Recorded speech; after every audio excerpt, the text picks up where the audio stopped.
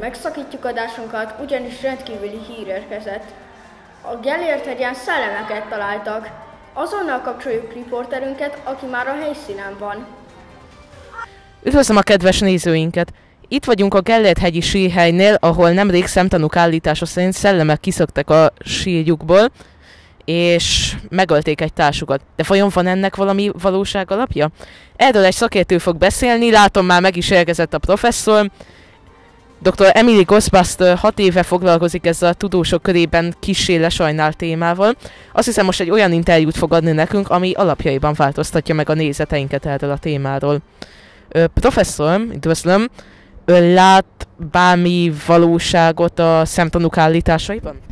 A szemtanúk száz százalékban igazságot beszélnek. Körbenéztem a helyszínen, és minden nyom arra utal, hogy itt valóban megjelent egy szellem. A Gellért hegyen, ami történt, hát szerintem igen, szerintem az eléggé igaz. Ja, a baleset idején éppen a Gellért hegyen ugye túrászni, és meghallok egy ilyen sikító hangot, lányok a hangjamat odafutotta, és a szellem is kijött belőle, és így átjött a testemet. Hát ez elég creepy volt. Szerintem a szellemek jók és rosszak is lehetnek, attól függ, hogy milyen a természetük.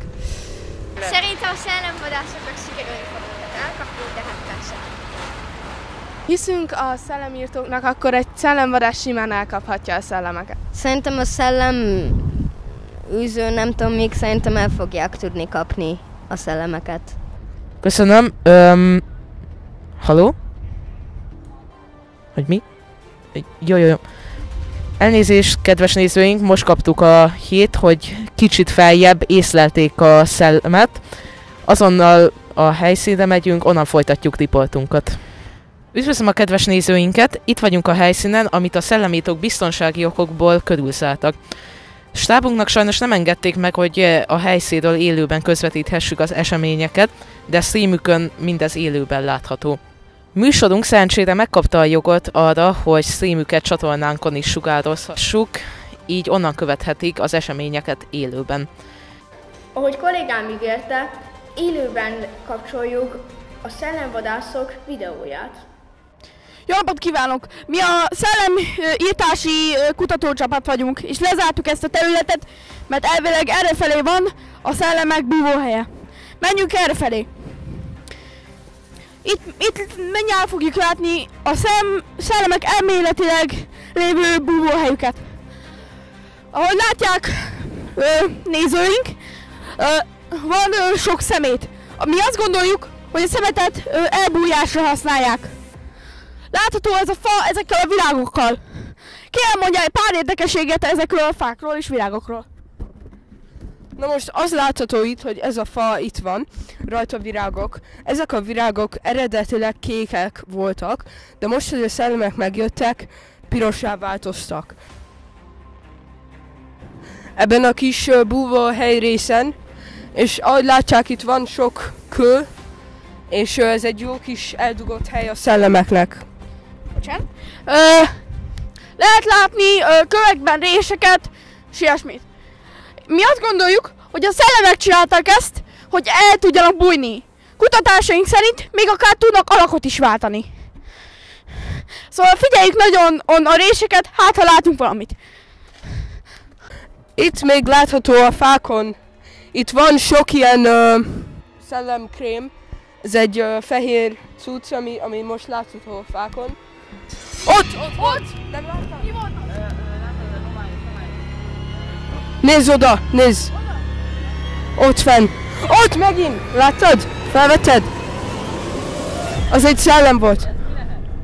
Az biztos, hogy egy szellem ott megy megint. Az, az biztos, hogy egy szellem volt minden, minden, ö, mindenképpen. Hát, ö, eléggé veszély. Megint? Veszélyes, ö, veszélyesek a szellemek nagyon, szóval még mindig, mi is félünk tőlük, szóval gyorsan fussunk el most. Üdvözlöm, professzor! Ö, meg tudná elmondani, hogy a, az eldobált szemét miért jelzi a szellemek jelenlétét a közelben? Hát az emberek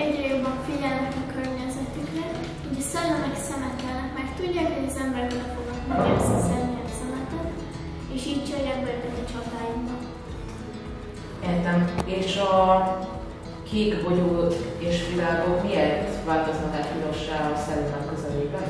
A szellemekben sok az agresszió, az agressziót meg legtöbbször pirossá ábrázolják, ezért változik. Értem.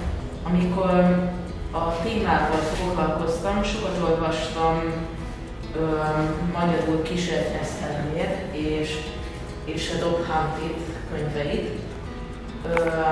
Ön még melyik könyveket találja érdekesnek ahhoz, hogy azok, akik a témával foglalkozni akarnak, kedvet kapjanak hozzá? Ez még kedvenc könyvem, az, amit nagyapám írt, John Ghostbuster.